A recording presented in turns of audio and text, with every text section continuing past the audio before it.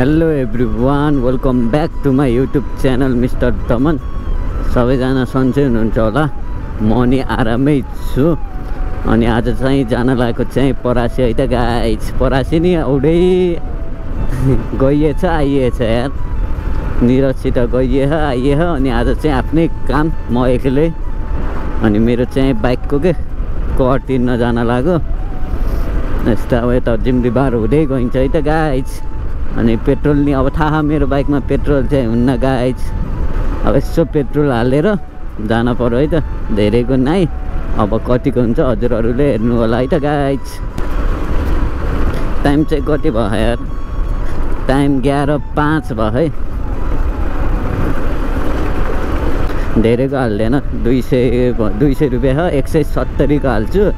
तिस रुपियाँ फेरि काम लाग्छ क्या। केमा काम लाग्छ भन्दाखेरि मेरो भिडियो हेर्नु होला थाहा हुन्छ हजुरहरूलाई। त्यही हो। एक सय सत्तरीको हालिदिनु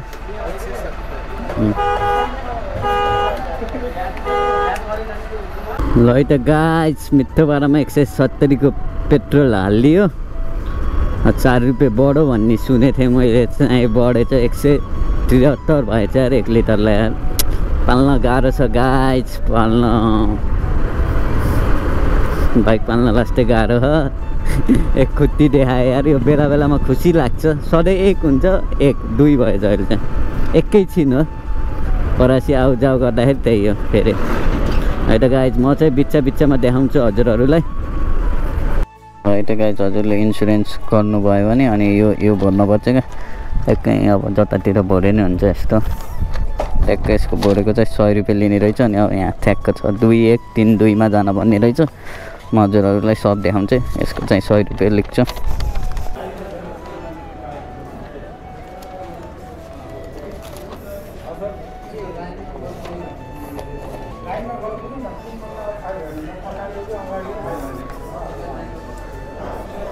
एक नम्बर यहाँ।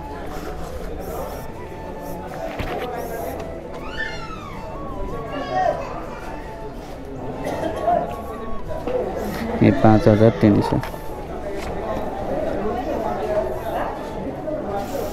कोठा नम्बर एकमा आउनुभएको चाहिँ गाइज दुईमा गएछ एकमा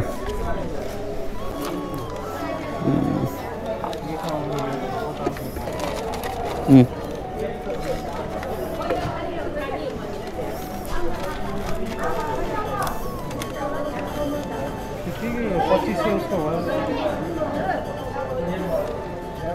गयो त्यो गाई दुई सय फर्क्यो त्रिपन्न सय गयो ट्याक्स एक वर्षको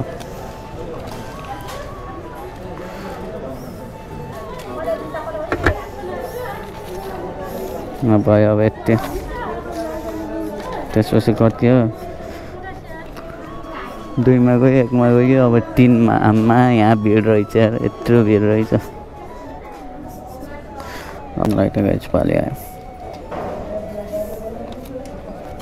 त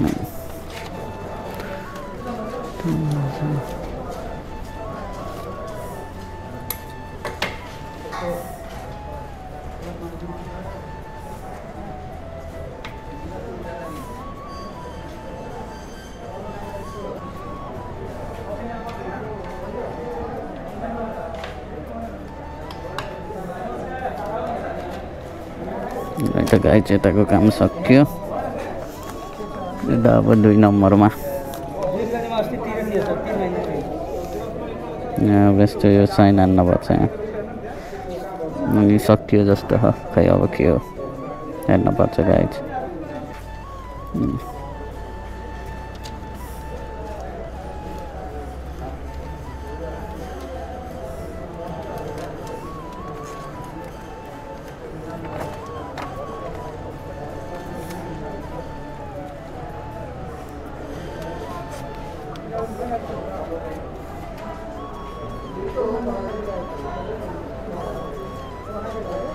भयो।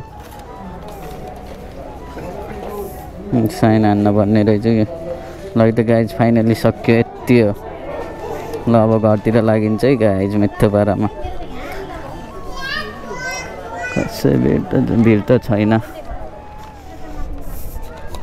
भयो त्रिपन्न सय भयो त यार। पहिला कति थियो? पहिला थोरै थियो जस्तो लाग्थ्यो गाइज। ल अब एकछिनमा म बाइक देख्छु अनि बेतमलाई त गाइज। सियो ल है त गाइज अब मैले हजुरहरूलाई सर भनिदिन्छु ट्याक्स तिर्न के के गर्नुपर्छ भनेर। सुरुमा चाहिँ इन्सुरेन्स गर्नुपर्छ बिमा गर्नुपर्छ। अब हजुरले थर्ड पार्टी गर्नुहुन्छ कि फुल गर्नुहुन्छ अब त्यसमा डिपेन्ड पर्छ। मैले चाहिँ थर्ड पार्टी गरेको थिएँ सत्र सय लिएको थियो तर मेरो चाहिँ पहिल्यैकै थियो। त्यही भएर अहिले चाहिँ गरेन। अब जेठमा गर्नुपर्छ मैले इन्सुरेन्स इन्सुरेन्स चाहिँ कम्पलसरी गर्नुपर्छ है गाइज हजुर यहाँ परासी आएर गर्न पनि सक्नुहुन्छ या हजुरको घरतिर। कोही नजिक छ भने त्यहीँ गरे झनै राम्रो हुन्छ है। सकेसम्म घरतिरै नजिक छ भने त्यतै गर्नु होला।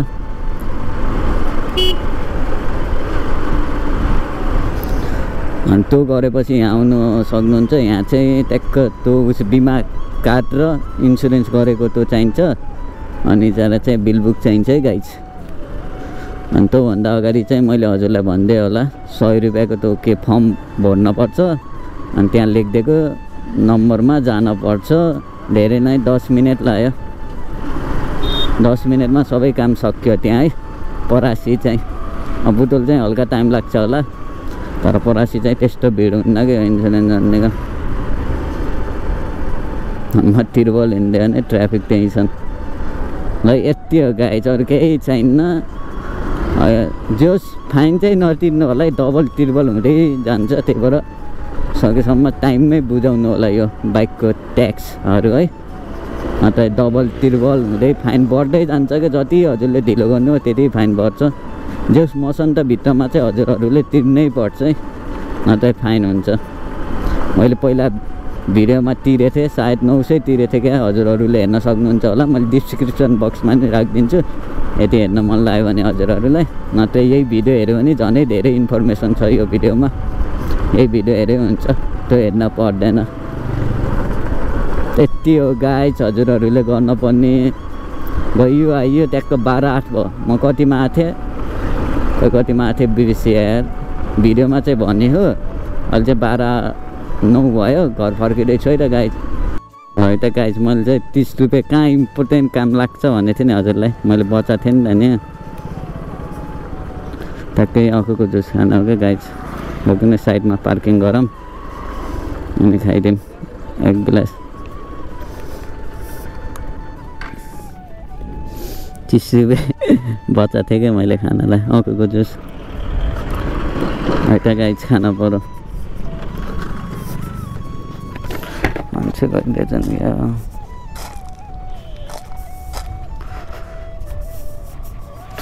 कहाँ गइदिएन फेरि भर्खर देखेँ जस्तो लाग्थ्यो यार। मान्छे जो गायब भयो नि यार। बुढो यार एकछिन जान्न पर्ला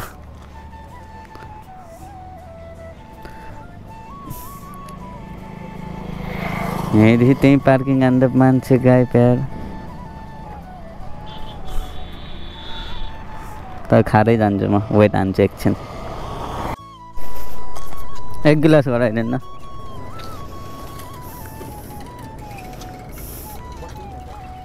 होइन ठिक छ। टाइम लाग्छ?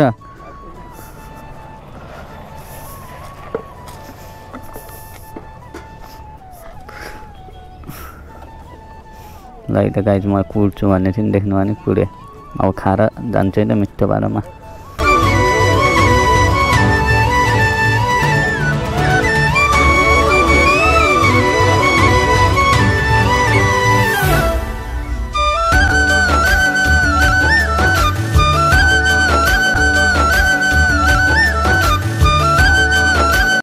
ल त गाइज एकैछिन त्रिवेणी रिसोल्यान्ड फन पार्कको स्केट पार्क खेलियो मजा आयो उहाँ परासी गरेर आएको थिएँ अनि अरुणलाई फेरि घरदेखि बोलाएको थिएँ क्या अनि ट्याक्कै चिम्रीबार भेट भएर अनि स्केट पार्क खेल्न गर्थ्यौँ मजा आयो एक घन्टा। रमाइलो गरियो। अनि यति टाइम ल्याप्समा नि हालिदियो धेरै त गरेन भिडियो। अब परासी गरियो मैले परासीको। चाहिँ लाग्यो आउन चाहिँ। चप्पलमा आएको थियो है मजा नलागिकनै अहिले चाहिँ मजा लाग्यो यो फेरि ड्याङ्गे पचास रुपियाँको मजा है गाइस पचास रुपियाँको। देखियो किन यार यता यताबाट देखाम दुइटै देखाम न सेतो तर दामी यार। यही लाएर हिँडिन्छ घुमिन्छ। स्केट पार्कको मजा भन्दै घुमिन्छ है गाइज पचास रुपियाँको मजा अनि पचास रुपियाँको स्केट पार्क खेलियो। यो हजुर अरुण छन् अगाडि। तिनले चाहिँ मजा लाएरै आएको थिएन। म चाहिँ परासी हिँडेको थिएँ क्यारे अनि परासी यो बाइकको ट्याक्स तिर्न क्या। त्यही भएर मजा चाहिँ लाएको थिएन। बिर्सेछु क्या अनि खेल्ने भन्ने नि थाहा थिएन। अनि यसो हेरेँ टाइम रहेछ। अनि आ खेलिदिएको एक घन्टा खेलेर आइयो। अनि अहिले चाहिँ दुई पाँच भयो है। ल अब भिडियो चाहिँ यहीँ गरिदिन पऱ्यो। Bye bye guys see in next vlog love you all take care सबलाई धेरै माया छ है गाइज